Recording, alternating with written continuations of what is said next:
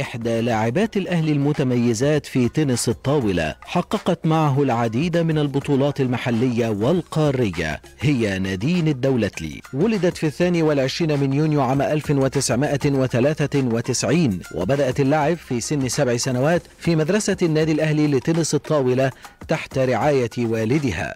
احترفت نادين لعبة تنس الطاولة منذ صغرها متخذة من أفراد أسرتها قدوة في هذه الرياضة المحببة لهم. وتطورت في أدائها ومنافستها حتى وصلت لحصد العديد من الميداليات محليا ودوليا. نادين الدولتلي نجحت في تمثيل مصر في دورتي ألعاب أولمبية في 2012 و2016 وتأمل في تحقيق المزيد من المشاركات الدولية وحصد الميداليات العالمية خلال مسيرتها. توجت نادين مؤخرا مع فريقها بالقلعة الحمراء بلقب بطولة الدوري بعد الفوز في الدورة المجمعة الثانية معربة عن سعادتها للفوز والظفر باللقب عن جدارة واستحقاق رغم صعوبة المنافسة مع باقي الفرق. نادين الدولتلي ضمن عناصر الأهلي المميزة التي استطعن تشكيل قوام منتخب مصر لسيدات تنس الطاولة والمنافسة بقوة وتحقيق طموحات وإنجازات عديدة على المستوى المحلي والدولي.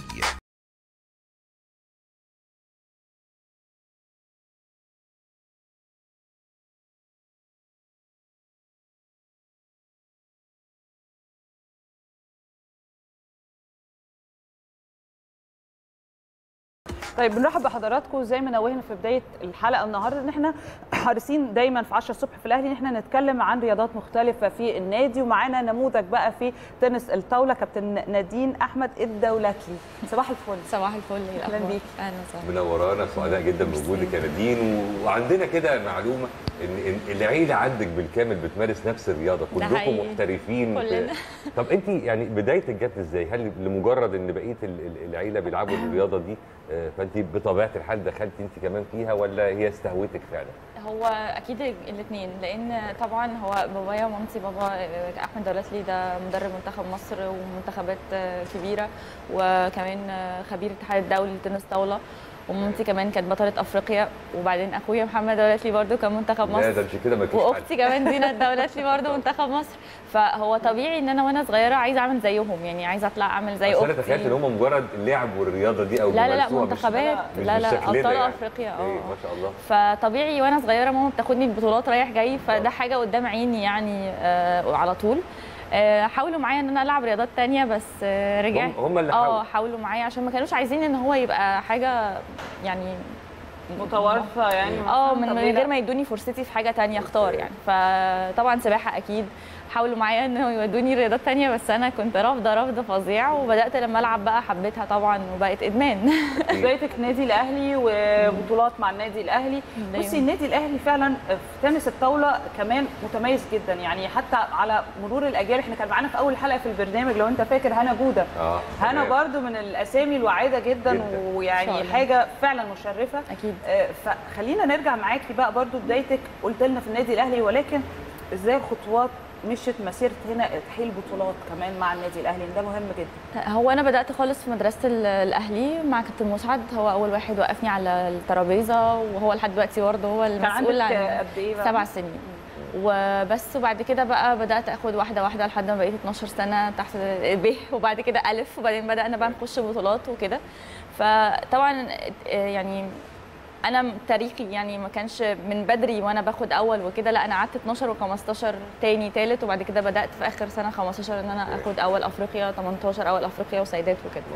بس هي آه، يعني مشوار طويل جدا وبطولات أفريقيا كتيرة وخسارة كتير ومكسب كتير فهو الموضوع مش سهل و يعني ال ups and downs فيه عالية جدا لأن التنس طاولة لعبة آه، يعني أصعب ما فيها ال- القوة ال- العقلية والنفسية أكتر ما هي آه، عضلات وكده طبعا الجزء ال fitness في التنس طاولة عالي جدا بس الأكتر منه بحس إنها لعبة آه، قوة عقلية يعني. وال reflex أظن يعني أكيد فكرة طبعاً. إن يبقى عندك سرعة رد فعل وخصوصا إن يعني الكره ما بتلحقش. يعني لو أنت بتلعبي حد أيوة، جامد أيوة، على ما أنا مزاجك كده هتلاقي أنا الكره ما. بتلحقش. فعايزه سرعة رد فعل. ده أكيد. وعايزة إلى حد كبير برضه ثبات انفعالي. ده أكيد. مش كده برضه؟ طبعاً. إيه تاني متطلبات الرياضة دي؟ آه، اولا هي يستحسن إنها تبدأ من بدري لأن زي ما حضرتك قلت سرعة رد الفعل دي صعبة قوي إنك يعني تنميها في اللعيب وهو كبير. بس هو هي قابلة للتنمية لو سن صغيرة؟ آه بس لازم يكون هو عنده برضو القابلية للتنمية okay. دي. آه. فلازم من هو صغير plus إن هو في ال fitness طبعا في جزء رد فعل لحد النهارده بتمرنه لازم يبقى اللي هي سرعة رد فعل mainly يعني. و- و fitness إن تخليني جسمي قادر إن أنا آه، أستجيب مع ال... يعني أنا خدت بالي من حاجة آه، جسمي يقدر إن أنا أروح لها بسرعة core. و... ورجلين وطبعا دراعات والكلام ده كله ده مهم جدا زي ما حضرتك قلت آه، الثبات الانفعالي ده من أهم الحاجات التنس طاولة لأن الفرق ما بين النقطة والثانيه مفيش طبعا فإنك كسبت ال- ال point لازم تنزل بسرعة ترجع ل ready تاني. ولو خسرت لازم ت... ت... تعلي ت- بسرعة آه علشان أرجع تاني طبعاً. فبيحصل يعني مشاعر كتير جدا في وسط ال- ال- ال game وهو game 11 نقطة برضو صغير جدا. وما بين ال game وال game دقيقة واحدة بس break مع مع ال coach فالموضوع سريع جدا فلازم يبقى أنت دايما عقلك جاهز تستوعب وت recover من كل الكلام ده كله وترجع دايما ready إنك تقدر تلعب تاني كل point طب نادين عندي سؤال شوية يعني اعم دلوقتي الر- الرياضات اللي بتعتمد على الإيد آه، عندنا مثلا آه، تنس عادي تنس طاولة وسكواش يعني مين خلينا نركز في الثلاثه دول. آه، يعني إيه الفرق في فكرة هنا؟ آه، مش طبعا مش الفرق الفرق في يعني آه يعني أكيد كل لعبة ليها rules معروفة بس إيه الفرق ما بين هنا وهنا وهنا؟ آه، وإيه أصعبهم؟ يعني برضو لو هنقارن بين الثلاثه دول. بصي أنا ما أقدرش أقول حاجة أصعب من التانية. هو أنا بحس إن التنس طاولة أصعب حاجة فيها زي ما أنا قلت قصر ال- الماتش وإن ال- ال game سريع جدا دي ده, ده أنا بحس في التنس لأ في وقت الكرة رايحة وراجعة وبيريحوا يعني بس السكواش مثلا آه، ال- الحركة أكتر حاجة أكيد. بعد كده يجي النفس التنس كمان. بعد كده. يمكن تنس ده أكيد. بالظبط فيعني النفس مثلا في التنس أهم بكتير من تنس طاولة إحنا. مش محتاجين النفس العالي. ده قوي كده أو العضلات الطويلة اللي تخلينا نروح ونيجي لأ يعني كل واحد عنده آه، حاجات أصعب من التانية بس أنا بالنسبة لي طبعا كتنس طاوله أنا بحس إنها فعلا أصعب حاجة فيها ال- ال mental بس أنت عارف تلعبي سكواش وتنس ولا مالهاش علاقة تنس ما خالص؟ عرفتش خالص ما يعني عرفتش بجد خالص. مالهاش علاقة أنا ما عرفتش خالص ألعب تنس سكواش بحب ألعبه بصراحة. يعني بنلعب كده يعني. أنت عارف دايما نسمعها. يعني أنا مثلا أنا جربت ألعب سكواش مرتين في حياتي وفشلت بس. بس أنا كنت بلعب تنس. ففعلا ليه بقى وما أعرفش برضو الإجابة. نلعب تنس ما نعرفش نلعب سكواش والعكس صحيح أو ما. مع إن هم كلهم كرة ما هي دي بقى. ما هي دي بس النقطه ال sense مختلف تماما. طبعاً. يعني ال- السكواش والتنس الإيد بتتحرك كلها. ما بقاش فيه هنا حركة جامدة قوي. تنس طاولة. المضرب نفسها مختلفة في التنس عن السكواش. آه، مسكتك يعني للمضرب تماماً. ال core ال- ال- اللي تحت وحاجات زي كده. طب إحنا فين بقى على مستوى العالم في, في تنس الطاولة وخصوصا الواحد بيقعد حتى كل فترة كده الواحد بيكعبل بشويه فيديوهات. خصوصا ل- ل- ل- لاعبين ولاعبات من آسيا. من آسيا خاصة يعني. طبعا إيه ده؟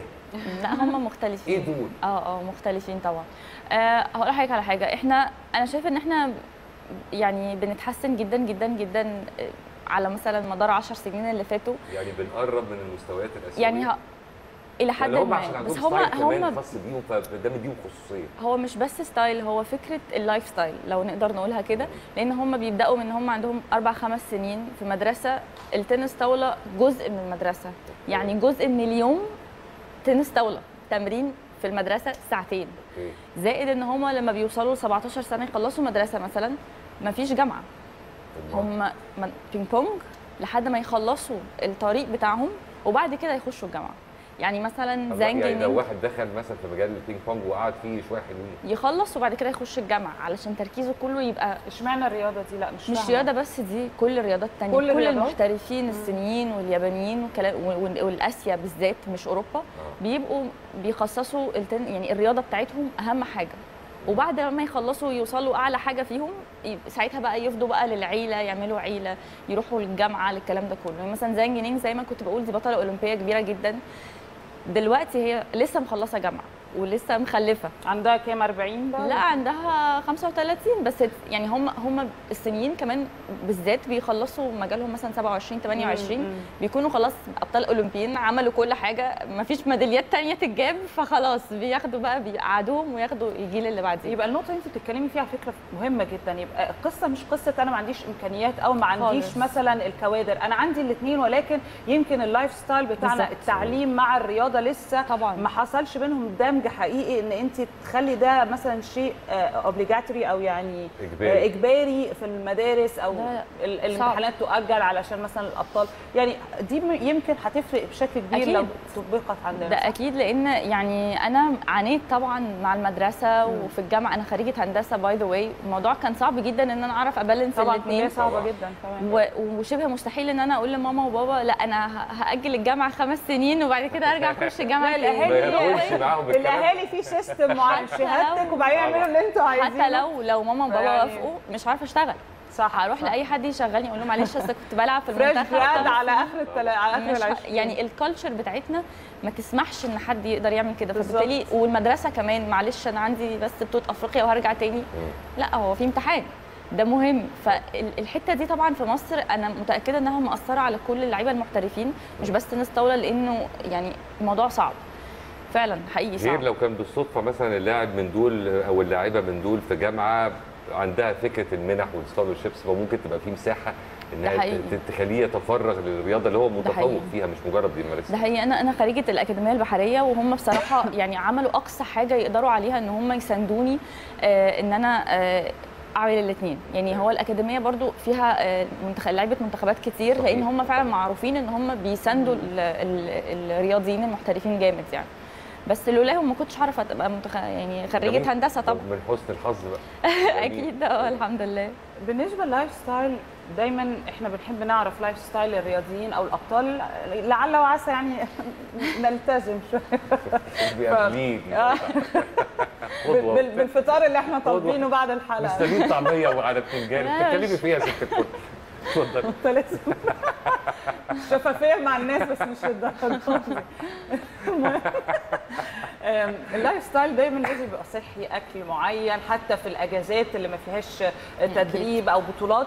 بس يعني you have to stick أو لازم. يبقى فيه التزام. حتى وأنت صغيرة في المدارس آه، لازم يكون في برضو ال- فكرة إن أنا ما بشتريش آه، شوكولاتات ما باكلش زي صحابي. فأكيد it was- يعني كان في تشالنج فيها صح؟ أكيد بس هو تعود. بس أنا باكل عادي يعني لا، فهمينا بقى. باكل عادي بس عادي؟ بس بالانس ما يبقاش كل يوم كل يوم كل يوم. عجيب أول واحد بس بس وإحنا كنا فاهمين عادي إزاي لا طبعا يعني أكيد مش لدرجة الحرمان يعني آه، لا يعني- يعني أنت عارفة في في ارتباط شرطي كده ذهنيا عند كل الناس إن اللي بيمارس رياضة وبصفة خاصة اللي. متفوق في رياضة معينة من ضمن تفاصيل حياته إن هو بيتبع نظام غذائي أكيد. معين ما ينفعش وزنه يزيد عن ده أكيد. آه، وزن معين تمام ده كل ده حقيقي و... ولازم يتبع علشان أعرف أقدم اللي أنا آه، آه، هيفرق في البرفورمانس بالك. طبعاً. يعني زيادة الوزن ممكن أو أكل مش صحي ممكن يفرق أكيد بس هو مش برضو مش لدرجة الحرمان. يعني بالنسبة لتنس الطاولة يمكن مش للدرجة لا لا لأي رياضة على فكرة. هو okay. لو أنا مثلا يعني ملتزمة جدا في التمرين وال cardio بتاعي مظبوط والجيم بتاعي مظبوط. وال fitness بتاعي مظبوط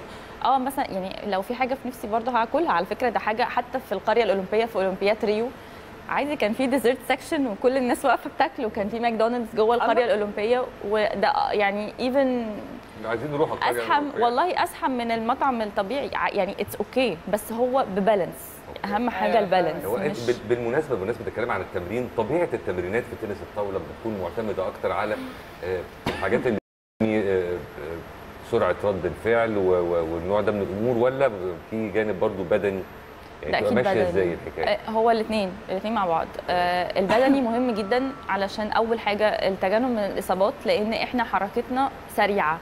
لو جسمي مش جاهز إن أنا أتحرك حركة سريعة ممكن يحصل إصابة يعني على ممكن طول. معنى كده ممكن يبقى في من من الإصابات المعتادة في تنس الطاولة المفاصل مثلا عشان بتحملي على الركب وبتغيري عاملة عملية. في ركبتي. آه أوكي ألف سلامة آه الله ألف إيه، آه لا المفاصل فعلا بقى. المفاصل الخطيره يعني. هو أكتر حاجة معروفة ال- الركبة الشمال والكتف اليمين لو حد أيمن اللي هم اللي بالظبط. عليهم يعني آه. ولو حد أشول أكيد. الإيد الشمال والركبة اليمين. آه لازم ال- ال- اللياقة البدنية تبقى عالية عشان زي ما بقول لحضرتك ال- الحركة السريعة دي ما ما بقاش فيه مزق ما بقاش فيه قطع في الأربطة أو كده دي ده أكيد رقم واحد رقم اتنين لازم التمرين التنس طاولة يبقى طبعا بصفة مستمرة على طول موجود علشان الواحد يتجنب الأخطاء اللي مش انفورست اللي هي مش مقصودة يعني لازم خلاص الكورة هنا لازم هلعبها مش هقع فيها عشان. أ... يعني أقدر أنفذ الخطة اللي في بالي ما أقدرش إن أنا أقع في حاجة بتاعتي أنا. بس فهو mix ما بين الاثنين يعني آه ودي حاجة على فكرة ناس كتير بتقلل منها اللي هو تنس طاوله إيه مش محتاجين تروحوا الجيم أصلا دي كورة قد كده بس لأ بالعكس إحنا تمريننا لأ بنروح الجيم وبنجري و cardio و muscle strength كله يعني و core طبعا مهم جدا. نادين لما بطل رياضي يكون خارج من بيت زي ما انت قلتي في يعني أب وأم أصلا أبطال رياضيين والعيلة كلها أو معظم ال close family يعني. آه، دي بتفرق جدا مع اللاعب صح؟